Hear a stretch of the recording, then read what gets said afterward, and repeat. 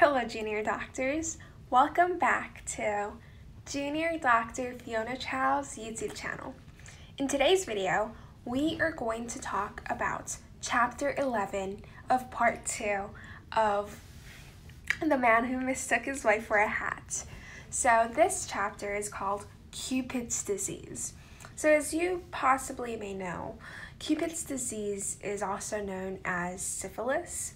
So, this chapter is basically about this woman called Natasha K, and she's 90 years old.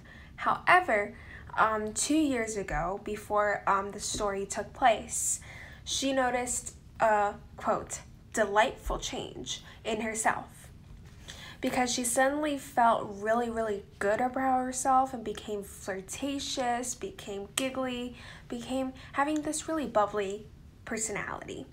And Natasha's Kate, Natasha's friends are really concerned about her because it's an mm. abrupt change of personality. So she tells herself, quote, You're feeling too well. You have to be ill. She tells Oliver Sacks that she thinks she has Cupid's disease, which is syphilis, as I have mentioned before, because she used to be a sex worker for 70 years earlier in this brothel in Salonika, Greece.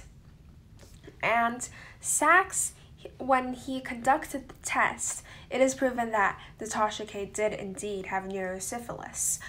But Natasha also mentioned how she actually loves her bubbly character personality that she has right now due to Cupid's disease. So Oliver Sacks did like this compromise, whereas um, he only used antibiotics to kill the spirochetes, but the changes in her personality still is there. So she is still this bubbly personality, this bubbly person, but she doesn't have syphilis anymore.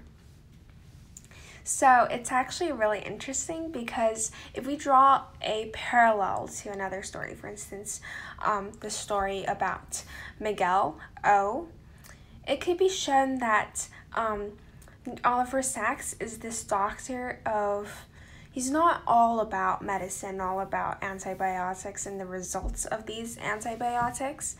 He is more of this doctor who considers the patient's situation and their hopes and then does his diagnosis and prescribes the medication.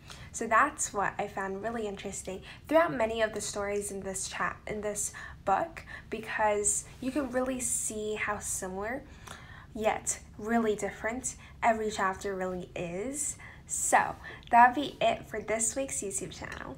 And thank you so much for watching. And remember to hit that like button, subscribe, and turn on post notifications. Thank you, and see you next time.